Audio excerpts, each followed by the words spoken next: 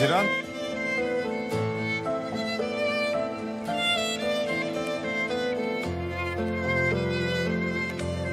Haziran.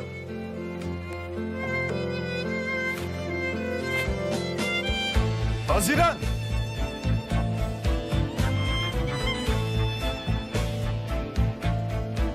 Haziran. Haziran bak sesimi duyduğunu biliyorum. Cevap ver bana. Haziran. Haziran sana sesleniyorum. Duymuyor musun? Gel nereye gidiyorsun? Nereye? Ya bırak beni. Sabahtan beri git diyorsun işte ben de gidiyorum. Daha ne istiyorsun? Hiçbir yere bırakmam seni. Ya ben senin oyuncağın mıyım ya? Gel deyince gel, git deyince git. Poyraz sen ne yaptın zannediyorsun? Haziran. Gece oldu bak başına bir şey gelir. Gitme bu saatte. Ben istediğim zaman giderim, istediğim zaman kalırım. Buna sen karar veremezsin tamam mı? Ya başına bir şey gelir diyorum. Duymuyor musun? Çok umrundaydı çünkü değil mi? Ya benim başıma senden başka daha ne gelebilir ki? Sen her gün ağlatıyorsun beni, her gün üzüyorsun beni. Yeter artık ben bıktım Poyraz, bıktım. Haziran. Lütfen. Ne lütfen ya? Ne lütfen söylesene sen karışma bana, takip etme beni, peşimden gelme tamam mı? Önemsiyormuş gibi davranma, beni sevdiğine inandırma. Çünkü sen de beni kandırdın, beni sevdiğine inandırdın. Ama yeter artık, tamam mı? Yeter. Haziran bırakmam seni bu saatte Bıraktın diyorum. alışırsın. Ay, Haziran. Dur. Dur bakayım dur. of. Bırak, bırak çekil dokunma tamam mı? Çekil istemiyorum seni. Haziran bakayım eline bir. Poyraz istemiyorum dedim sana ya. Of bir bu eksikti. Gel gidelim gel. Poyraz bırak dedim bırak tamam mı istemiyorum çekil dokunma tamam mı dokunma istemiyorum artık. Haziran lütfen artık gel. Bırak Poyraz Gel. bırak. Gel. Sakin ol.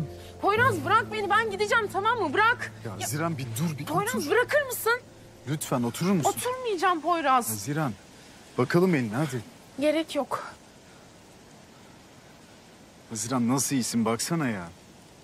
Poyraz iyiyim diyorum sana tamam mı gerek yok. Temizleyelim bari bak mikrop kapacak yoksa.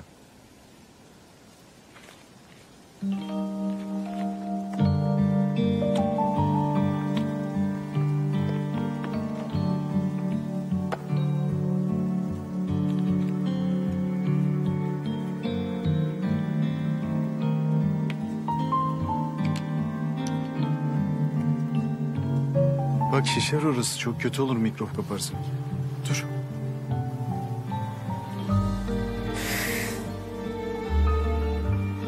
Çok mu acıyor? Tamam, geçecek.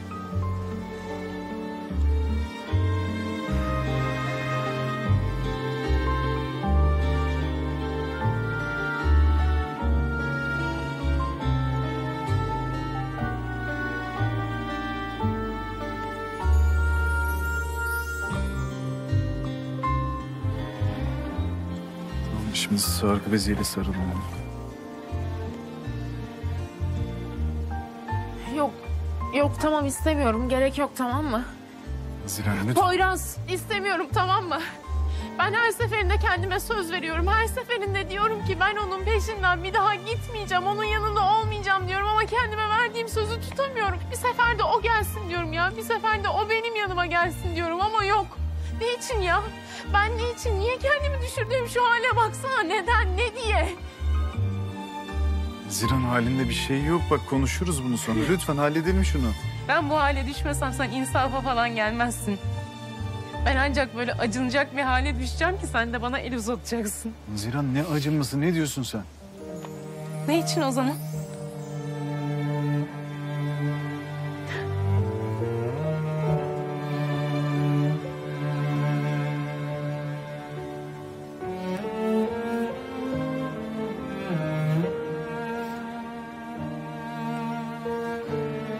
Özür dilerim.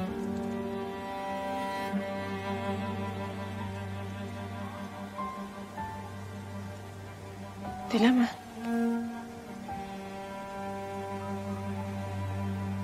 Çünkü tekrar yapacaksın. Haziran.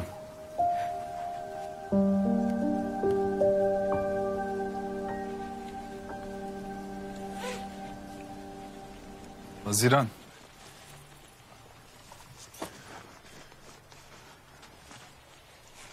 Haziran. Haziran ben gerçekten özür dilerim senden. Gerçekten. Çok üşüyorum. Şu musun? Gel yat buraya hadi. Benim yüzümden hasta olma bir daha tamam mı hiç istemem.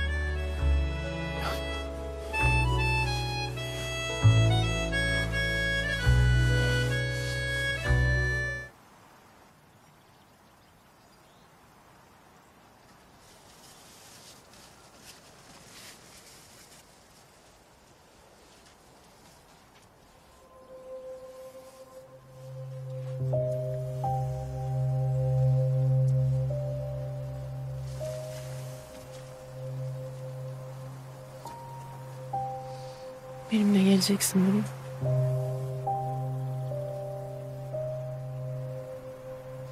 Sevindim.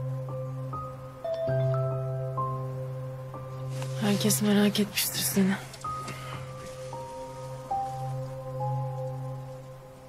Ne oldu?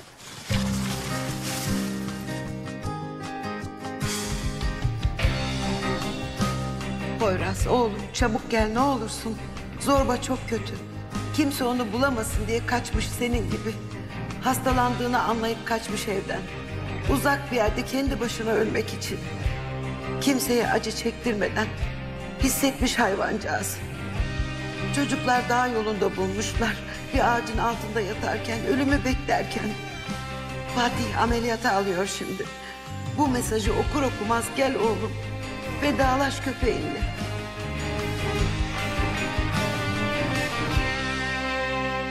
Zorba. Fatih Zorba nerede? Anestezinin etkisini göstermesini bekliyorum. Ameliyat alacağım. Nesi varmış abi ne oldu Zorba'ya? Durumu hiç iyi değil. Elimden geleni yapacağım merak etme. Ama her şeye hazırlıklı olmak lazım. Çok yaşlı. Fatih abi ne olur bir şey olmasın ona. Ne olur yardım et bak yalvarıyorum sana. Sakin ol. Haber bekleyin. Oğlum.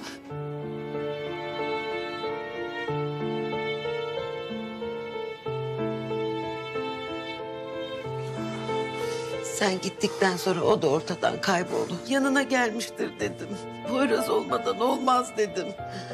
Hiç değilse o yanındadır. Ona yarenlik yapar dedim. Keşke onu arayıp bulsaydım da. Onun derdine derman olsaydım. Siz çok solgun görünüyorsunuz. Ben size yiyecek bir şeyler alayım. Hiçbir şey istemiyorum senden.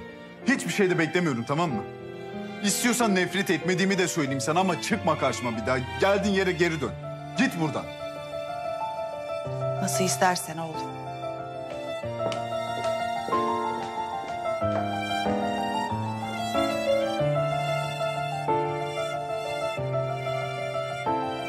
Ayten Hanım.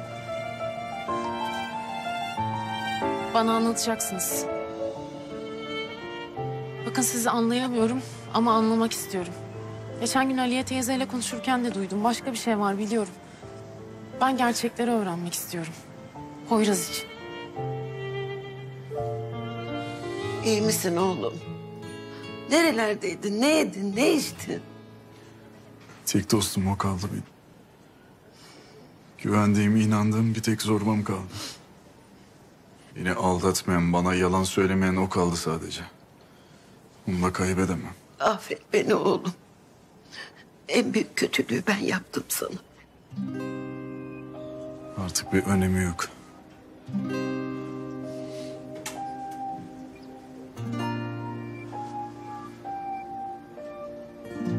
Bir şey mi oldu?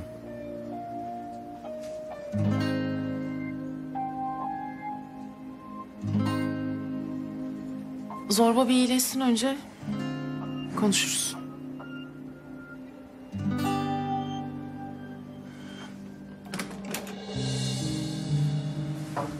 Fatih abi.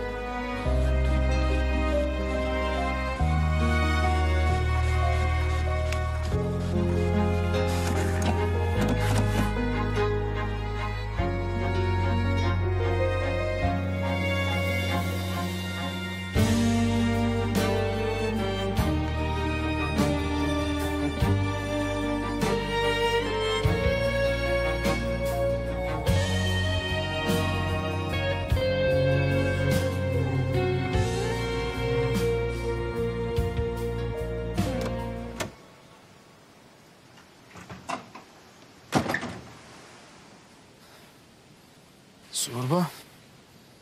Gel.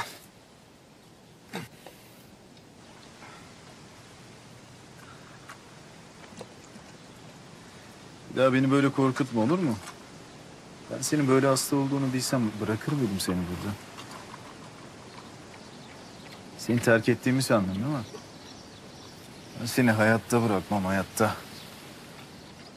Ben Burada daha güvende olursun diye bıraktım seni. Daha iyi olursun diye. O yüzden yanımda götürmedim. Ama bundan sonra hep birlikteyiz orada.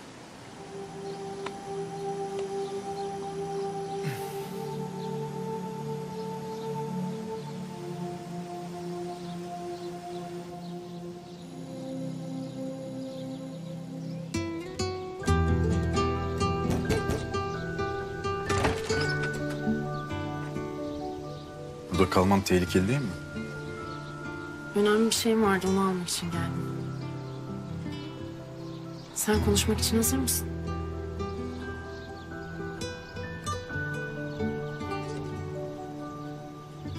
Şaşırdım. Bazen sevdiğin insanın ne kadar vaktin kaldığını bilmiyorsun. Ya onu son görüşümse ya son bakışımsa. Ben bunu bilmiyorsam. Doğru. Belki son kez bakacaksın gözlerine. Ama bilmeyeceksin.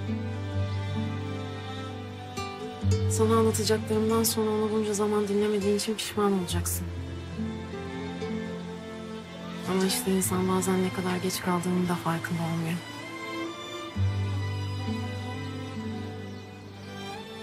Gel oturalım şöyle.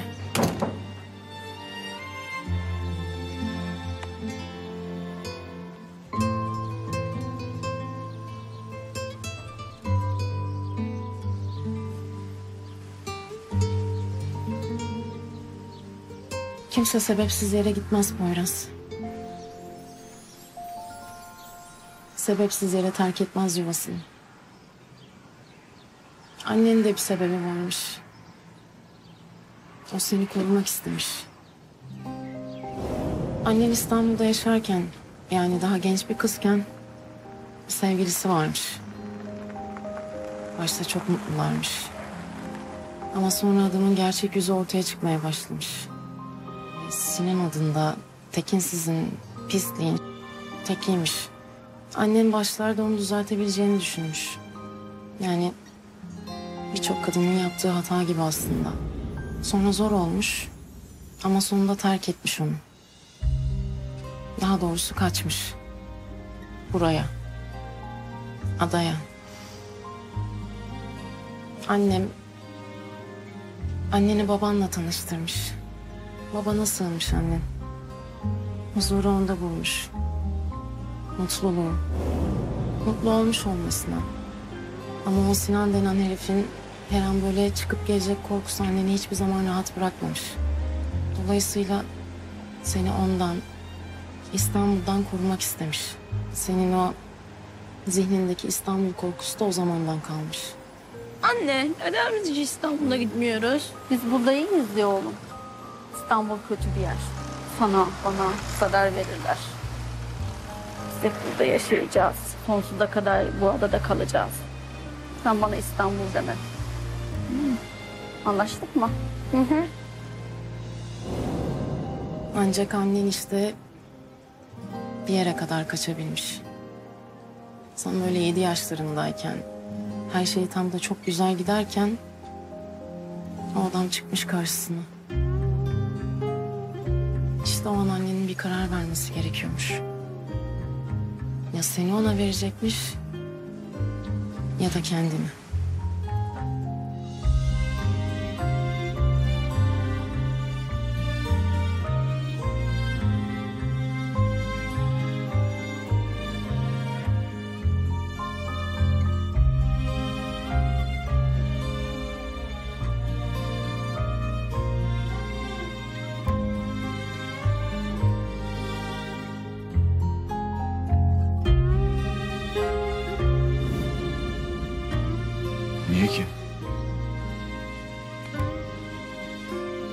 Çünkü Poyraz... Senin baban aslında o herifmiş.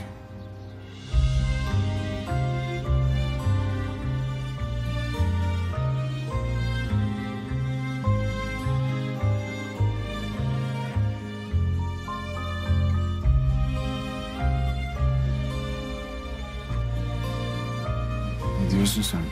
Zira Poyraz annen adaya geldiğinde hamileymiş. Kimseye söyleyememiş. Babana bile. Utanmış. O adamın onu burada bulamayacağını düşünmüş. Geçmişi silip sizinle burada mutlu bir hayat kurmak istemiş. Ama işte o adam bulmuş onu burada. Evli olduğunu saklamış. Bir çocuğu olduğunu saklamış. Çünkü eğer söylerse şüphelenir. Senin onun çocuğu olduğundan şüphelenir. Seni alır gider diye korkmuş. Annen kendini feda etmeyi tercih etmiş. Seni terk etmemiş. İstediği için değil. Mecbur olduğu için gitmiş. Sonra sen annenin peşinden İstanbul'a gidince bir de ona anne diye seslenince adam şüphelenmiş. Bu benim çocuğum mu diye sormuş. Annen zar zor ikna etmiş. Adada olan evliliğinden bahsetmiş. Çocuğu istemiyordum. Kocamı da terk ettim sana geldim diye adamı ikna etmiş. Sırf seni korumak için. Sırf sen kötü bir obayla büyüme diye. Biraz annenin hayatını bir adam mahvetmiş. Karartmış. Ondan kurtulması yıllar sürmüş. Hatalar da yapmış. Ama bunun bedelini sensizlikle ödemiş. Sonra adam hastalanmış, yatalak olmuş. Annen de bu sayede kurtulmuş ondan. Tam senin özleminle sana kavuşacağım deyip adaya gelmişken... Bu sefer de Aliye teyze engeli girmiş oraya. Hayır, kabul etmiyorum. O benim torunum. Benim oğlumun oğlu. Onu ben büyüttüm, ellerimle büyüttüm. Senin onun üstünde hiçbir hakkın yok. O benim oğlumun oğlu. Yalan söylüyorsun sen. O benim torunum. Babaannene her şeyi anlatmış. Bütün gerçekleri anlatmış. Ama Aliye teyze bunlara inanmak istememiş. Kendine yalan söylemiş, buna inanmayı tercih etmiş. Seni öz torunu gibi bağrına basmak istemiş.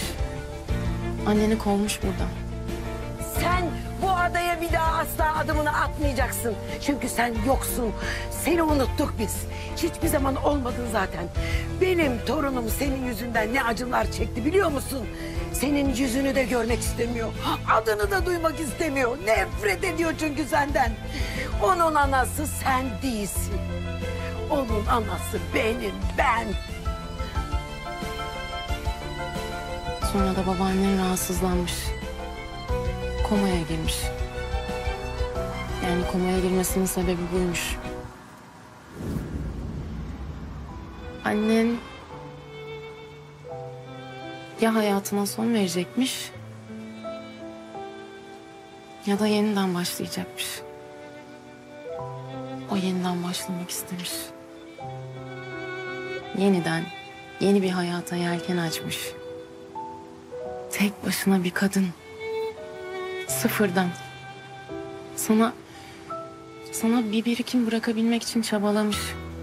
Ama her şey umduğundan daha güzel, daha büyük olmuş. Markasının ismini de sana duyduğu özlemden dolayı yine bir rüzgar ismi koymuş. Lodos da işte buradan geliyormuş.